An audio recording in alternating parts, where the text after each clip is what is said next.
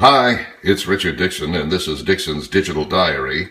Today we're going to watch and see if this pot of water boils. Just kidding. We're actually going to make macaroni and cheese pretzel balls. That is to say, pretzel balls with macaroni and cheese on the inside. Step one, make macaroni and cheese. Bam! Now we spoon it into ice trays and we put them in the freezer.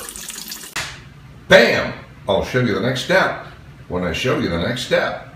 This is crescent roll dough. Soon it will be filled with delightful macaroni and cheese frozen in its ice tray.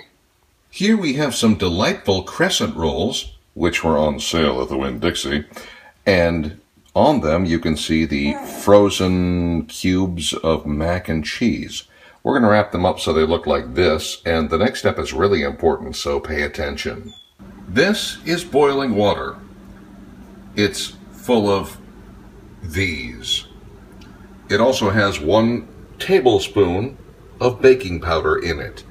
These stay in for one minute. It makes the dough all pretzely. I didn't do well in science. I'm not sure why. Back in a moment. And now we are loading the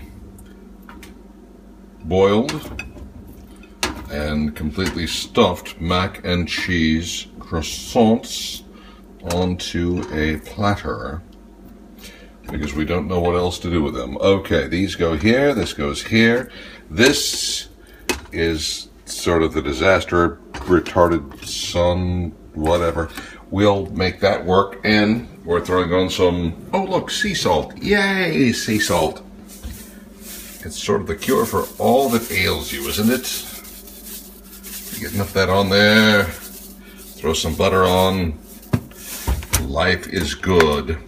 We put in the oven at 375 for about 20 minutes. We'll see what happens, huh? And there they are, the beasts themselves. The macaroni and cheese pretzel balls. Uh, ooh, look at that. Pretty tasty. Let's see how they work on the palate, shall we? Mm. Okay. Wow. That Oh my God. I don't know how pretzely that is, but that that right there is a little bit of heaven. You must try this recipe. You will not regret it. Trust me. Don't forget to tune in weekdays 1 to 5, 1070 WAPI or 1070WAPI.com.